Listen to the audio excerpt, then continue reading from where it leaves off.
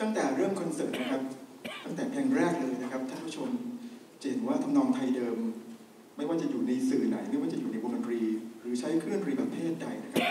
ทำนองไทยก็ยังส่องประกายเจิดจ้า แสดงศักยภาพออกมาได้อย่างหลากหลายจริง ๆนะครับ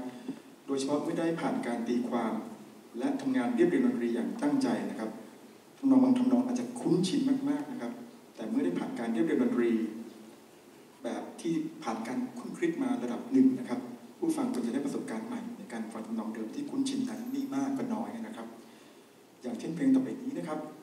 เป็นเพลงไทยที่ผมถือว่ายิ่งใหญ่มากเพลงหนึ่ง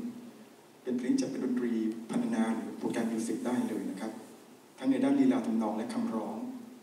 บอกเล่าภาพอธิบายบรรยากาศ บรรยายแม้กระทั่งเสียงนะครับ เพลงนั้นคือเพลงเขมรไซโยก นิพนธ์ในสมเด็จเจ้าฟ้ากรมพระยานริศรานุวัติวงศ์ในฉบับนี้นะครับ จะเป็นการสนทนาระหว่างสองคลื่นลมไม้ คือฟลุตและโอโบบทเพลงนี้ ผมตั้งใจว่าเสียงให้อยู่ในโทนแห่งความโรแมนติกนะครับเพ้อฝันนิดๆนะฮะเริ่มด้วยการนึกภาพว่าเราล่องเรือไปช้าๆตามแนวแม่น้ำแควนะครับ ตอนช่วงเช้าๆนะครับ ก็จะมีหมอกมาเอ่อ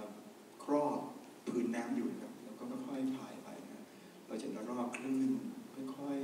ๆพาเราไป เราก็ดำเนินไปจนกระทั่งถึงน้ำตกที่เรา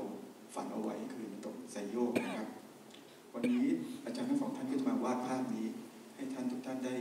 รับชมและรับฟังกันขอเชิญอาจารย์ดำริและอาจารย์วรพลครับคำเห็นไซโยกครับ